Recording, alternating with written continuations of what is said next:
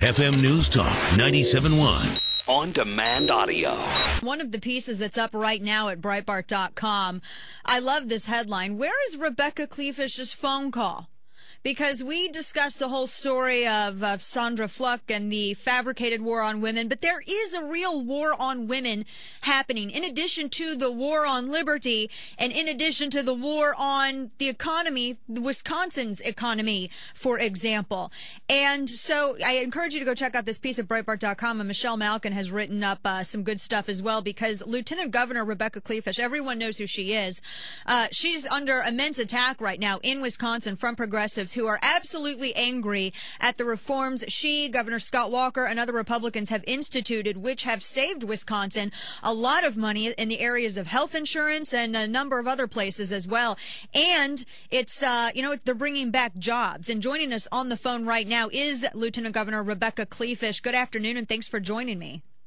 Dana. How are you? I am doing well, and uh, I, I, understand that you all definitely have been busy in in, in, in getting uh, in Wisconsin and getting some of these things, uh, some of these you know regulations and these these you know these big union salaries and everything else. Basically, giving the private sector, which is also working class, a place at the table. And I know you all have come under immense fire for this. How has it been up in Wisconsin? Because I know everyone paid attention over the summer, and then for whatever reason, some of the things slipped to the back back but it doesn't mean that it's still not ongoing.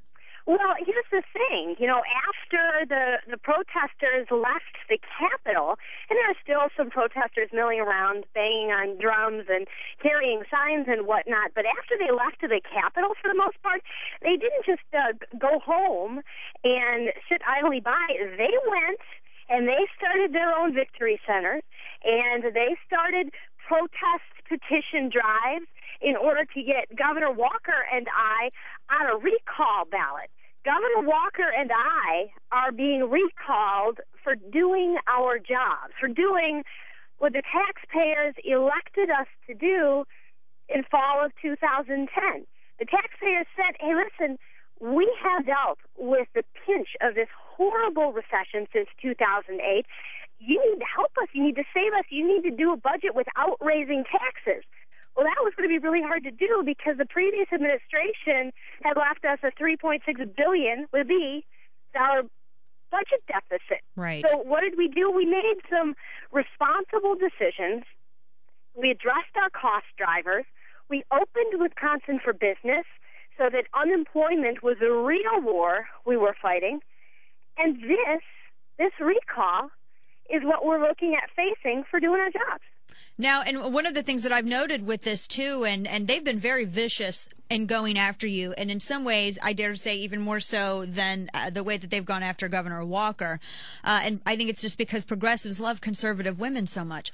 Uh, but they, if if they were, if they would be successful in their recall efforts, I mean, you would be uh, the first, as I understand it, the first lieutenant governor in the history of the country to be recalled, especially for doing your job. And Commentary Magazine has a great layout of act of all of the the benefits that Wisconsin has has reaped because of your actions. I mean, it discusses the savings for school districts, uh, the teachers union, uh, and and the health insurance companies, and how savings averaged, you know, almost eight hundred thousand dollars in districts that switched to, uh, uh, you know, competitive bidding, so on and so forth.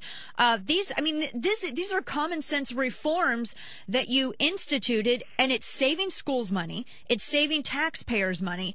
But the problem is, is it means less control for union bosses, and so now they're after you as a result. What what what is the right. what's the You're general right. sentiment? And, and here's the thing: they have put up the head of the state firefighters union against me. Oh, my. Already, the International Brotherhood of Firefighters has filed with our Government Accountability Board saying that they're going to do a big media buy.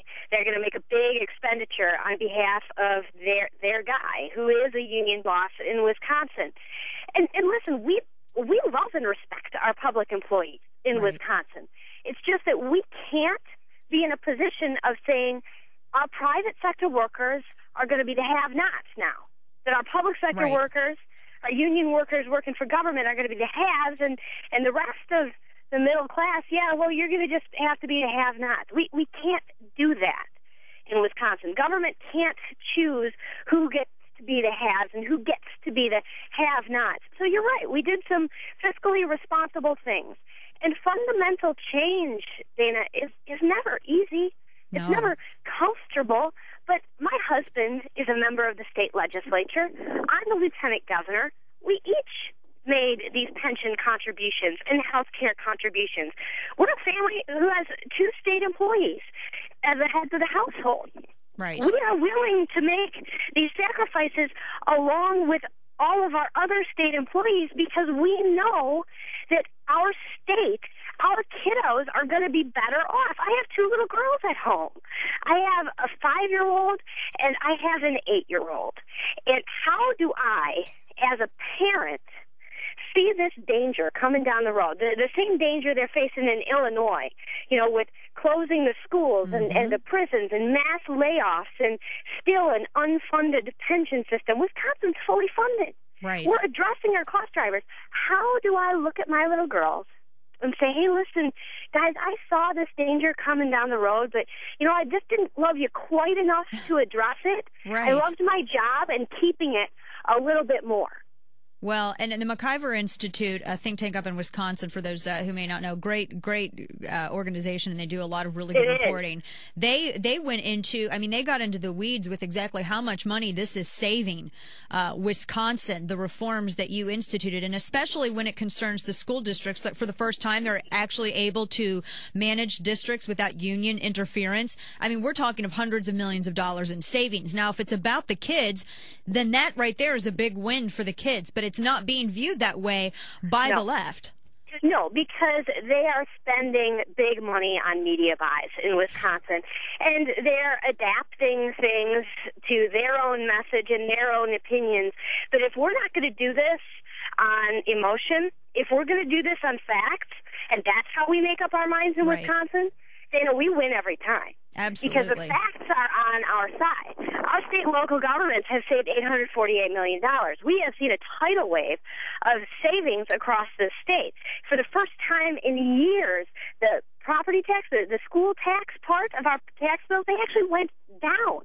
You know, our unemployment rate is down, lowest it's been since 2008. Things are working, and they're saying we want to move backwards Yeah, it makes you know, no here's sense. the thing: it's it's backwards or forward. Our state motto is forward. The good thing here is if we're picking between backward and forward, it's the voters who get to choose. Right. Absolutely. And one of the things I wanted to ask you about this as well, because in, in terms of the way that the left is trying to uh, uh, have effect on you, obviously you're aware of the whole the Sandra Fluke uh, situation, Sure. that whole Yeah. story, and everyone just was up in arms because a radio talk show host said that uh, Sandra Fluke's behavior was a certain adjective. But I don't recall any of these same people being up in arms when there was a Wisconsin radio host that said worse about you. And if people, I don't want to talk about it with you on air because it's so awful. People can look at Breitbart.com, but it's, I mean, they, this John Sylvester or whatever this guy's name is, uh, he wears a gold chain and he opens his shirt. That's all I'm going to say. I mean, I can't, but he, he's, Well, he said worse of you. You didn't get a phone call, did you, from President Obama? No, I I didn't. Shockingly, um, but these are things. I mean, this guy said some stuff that I told you I have two little girls. Yes. Someday they're going to have access to a computer, and they're going to understand what Google is. Yes, sadly. I, I don't want them to find that gross stuff. I mean, he said really, really, really gross things. And you know what? Honestly, he apologized, Dana, and and I- you know I I forgave him the moment the words came out of his mouth. But the fact is, there is something about conservative women that drives liberals absolutely nuts. It's because we we protect our children in a, a different way. We we believe different things, and they can't they can't take ownership of us. You know, they they think that women, moms, are a demographic that is somehow given to the Democrat Party, and I'm here to tell you it's just not true. You know, there are there are hundreds of thousands of conservative moms out there who believe that their children's futures, their children's lives are more important than their own. And we will stop at nothing in order to make sure that our children have brighter futures than even the lives that we've been given. And and we have great opportunity. Right. But here's the thing. We want to we want to make sure that the world of opportunity is even greater for our children. That's the that's the type of America that I want my kids growing up in, and that's why I decided to to run for this office in the beginning. This was my first ever political run. I had never run for political office before this, but there's a point at which you see our states and, and our country's finances and future just being wrecked so badly that you can't sit and yell at your TV anymore. Right. You got to get in the game, and and so I am. The only bad part is that, you know, I, I'm underfunded, and they they've already declared that they're going to pour in hundreds of thousands, millions of union dollars. There's an estimated $80 million being dumped on this race by outside special interests, the, the big union bosses. They look at and you as I a threat. can't go up against that. Yeah, they look at you are threatening them because you're effective. What can grassroots, what can it, people, period, do to help you and to help Wisconsin? Well, I, I would be so grateful if people stop by my website, RebeccaForReal.com. Uh, Governor Palin posted something on my race today on Facebook. You said that your website as well, on Breitbart, and Michelle Malkin, you mentioned that. You know, people are, are taking notice that, you know, we can't leave a man on the field here we are being recalled separately. Even though the governor and I were elected together, we're being recalled separately, which means I am in danger and I need help. We cannot have the head of the firefighters union in the lieutenant governor's office and our great governor Scott Walker trying to go out there and do battle against special interests every day and keep Wisconsin open for business.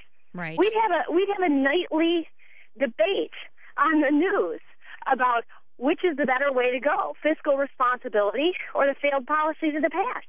We can't have some some character using the lieutenant governor's office to butt heads with Scott Walker every day. Scott Walker is going to take us into the future here in Wisconsin. He's done it already. We've acknowledged it. The reforms are working. You can see it all over the place. Now we need to keep going. Absolutely. Well, I know I'm going to be up in Madison, and I hope to meet you up there. I'm going to be up there uh, April 14th, I think, is the date. That's Saturday for uh, Outstanding. for a rally. So I look forward to meeting you. And any way that we can help Wisconsin and, and help you and, and stop because the reforms are working. We, like you said, you can't take a step back. You just can't take a Hey, step back. You you are absolutely right. And so if if folks would would have a moment to to drop by RebeccaForReal.com and help me out, I will continue to fight in Wisconsin.